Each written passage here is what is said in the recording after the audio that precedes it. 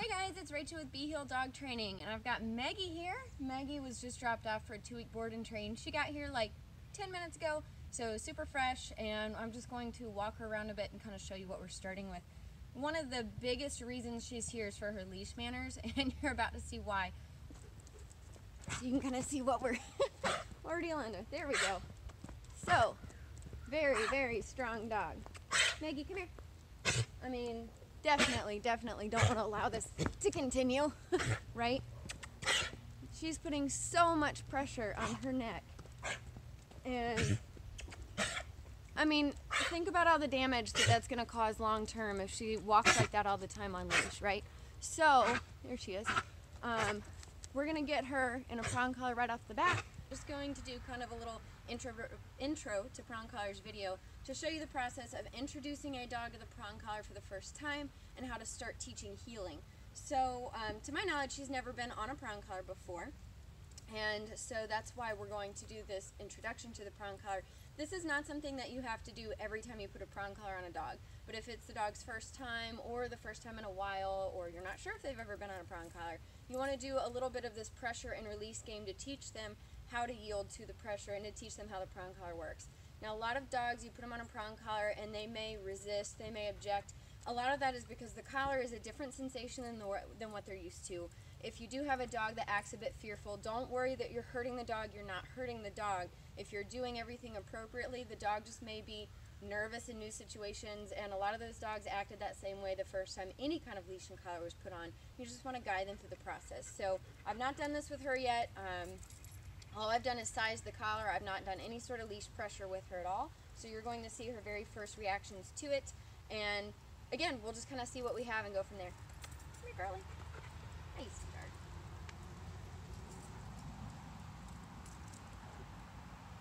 So what I'm doing is I'm going to put my prong collar on. As always, and I have other videos that show this and talk about this, in more detail, but I'm going to clip her prong collar to her flat buckle collar just as a backup should the prong collar come off because that is possible. Get my leash on her here. And then we're going to take the slip lead off. There we go. Alright, so we've got her swapped out here. So I'm just going to start with this little bit of pressure and release. And what I'm going to do is put as little pressure as I need to get her to yield to that and move away from that pressure. And as soon as she does yield to that, I'm going to release and reward. And so that way she learns, okay, when I feel pressure, if I give to that pressure, it goes away. That's how it works. That's what that, that's how the sensation is. So, good job. Um, she's a big puller too. A lot of times when you have a dog that pulls really strong like she does, you may put your prong collar and leash on and they may try to go and that could startle them. Don't let any of that worry you if it happens. You just want to stay really calm and nonchalant. Hey, you know, let's go. We're just doing some work together. So, I'm going to do this little bit of pressure. Yes, good job. And as soon as she turns towards me, you'll notice I'm doing a lot of kind of guiding her away from me and then leading her back towards me with that leash pressure. So I'm going to put a little bit of steady pressure. Good, until she gives. You can see it's a really gentle process. There's no, I'm not having to put a whole lot of pressure on this. Again, I want to use as little as I need, but also as much as I need. Good job, yes. Good, good job. There you go. A little bit of pressure and give. Good. So you just do this for a few minutes. Again, this is only going to be the first time you use the, the You don't have to do this every single time you put your prong collar on your dog. It's just to introduce them and get them used to everything. So now what I'm going to do is start working on teaching her the heel position. With the heel position, I want the dog to be walking either at or slightly behind my leg. And the way I'm going to do this is whenever she's in the proper position that I want her in, there's going to be no pressure on the collar whatsoever.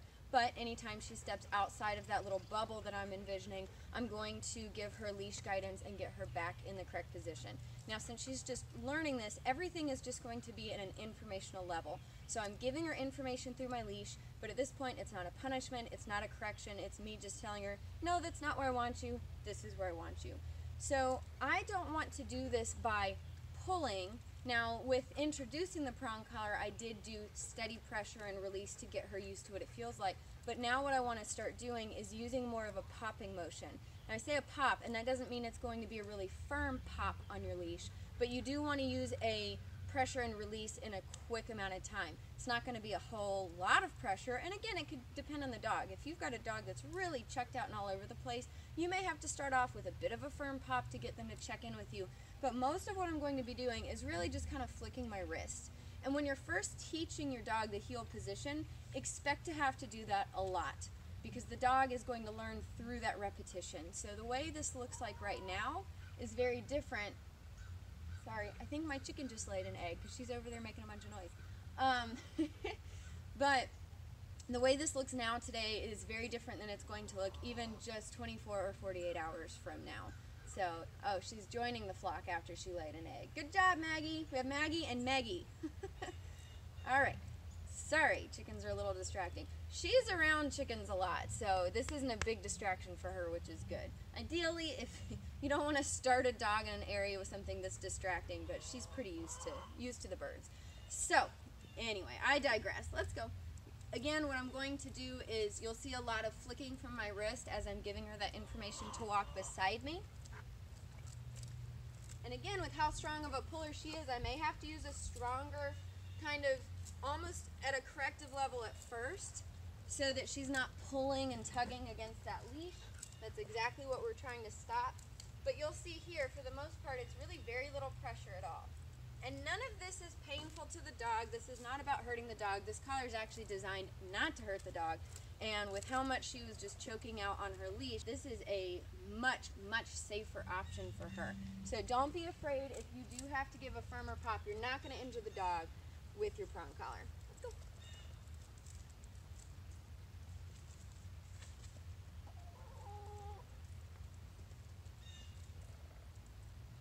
So you'll see I'm having to give lots of guidance. Now I also don't want to allow the dog to sniff the ground, so that's important. And it's also important to note if your dog is getting ahead of you and you're giving that pop with your leash, that flick with your wrist, make sure that it's a backwards motion and not an upwards motion. The only time I ever use upwards leash pressure is when I'm cueing the dog to sit or if they're sniffing the ground and I'm trying to lift their head up off the ground. But if the dog's getting ahead of you or off to the side, you don't want to pop up. You want to pop directionally more parallel to their body. So I want to keep her, right now I'm working her on my right side, so I want to make sure she stays on that side. I don't want to allow her to zigzag back and forth behind me or in front of me. Good job. And already we've got a dog who's not choking out on the leash while we walk her. And I'm having to walk in kind of a small area right now to keep within the confines of this camera, but we're going to take her out on a little bit of a walk in a moment and show you what we've got compared to before.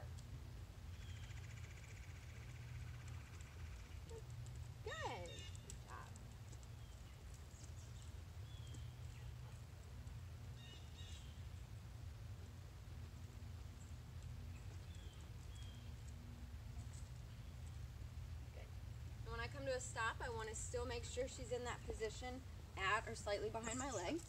So I'm going to start adding stops into my work here.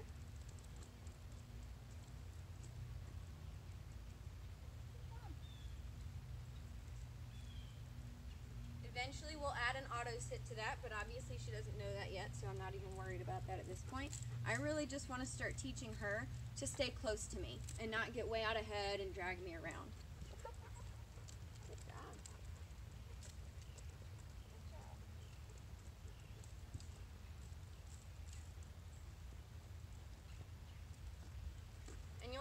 too, I didn't think to say this earlier, my leash is short. It's soft when she's in the correct heel position. Good job. So when she's in a heel, it's soft and there's no pressure, but I'm not giving her my whole leash. I don't want to give her I don't want to give her the opportunity to get way out in front of me or, you know, very far away from me. So when you're doing your heel work, I mean, she's a tall dog. She's only got about four inches of leash.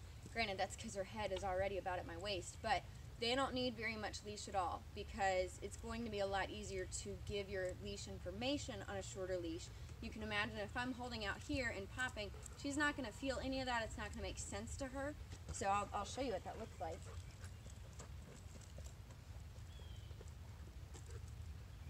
So even though she's paying better attention and not dragging me all over the place, I can't really position her in one spot very easily. I just, I mean, I just tripped on the dog, right? So make sure your leash is nice and short so you can give that information very quickly the moment that you need it. Good job.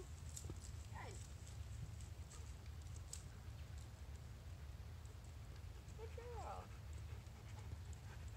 All right, so now we're going to be walking more in a straight line down the driveway, going to kind of a new area. So we're likely to get more pulling from her and a little more um, guidance is going to be needed from me than what you were seeing a minute ago in the video where she was kind of getting comfortable in that space and understanding what we were doing. So again, I'm constantly giving these reminders through my leash. I don't want her to sniff the ground. That means every single time she goes to sniff the ground, I have to tell her, nope, we don't do that anymore on walks. Hopefully you can see her okay. Um, but you'll see my hand is just kind of constantly working to correct that position and that won't be a permanent thing. You know, right now, like I said earlier, I'm having to teach her through repetition. So she's continuing to try to pull ahead or pull off to the side or sniff the ground. And she's going to learn that every time she does that, there's pressure, and every time she goes back into this position, there's no pressure. And she'll go, hey, I really prefer walking in a heel. But you see a huge difference here from what we had just a few minutes ago. I mean, literally no more choking. And this dog was seriously choking and gagging on the leash. Um, and we've got no choking or gagging. I'm able to use very, very little leash pressure. God, the amount of pressure I had just holding on to her on her regular collar and on a slip lead was ridiculous. My hands are actually sore just from a few minutes of walking her around on that leash. And now we've got a dog we can walk in minutes. Is it perfect? No, but we're talking, you know, a couple minutes into the game here.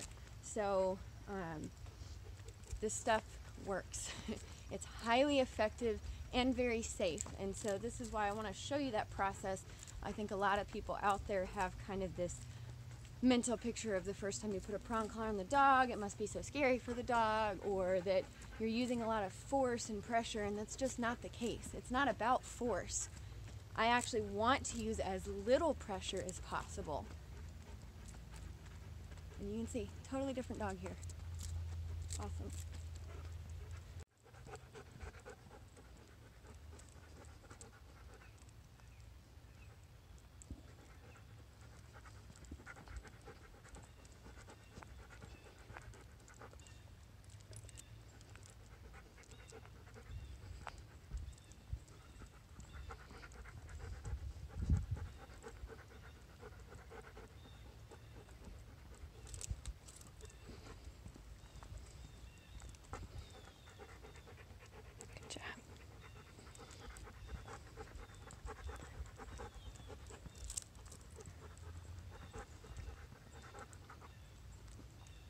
Girl.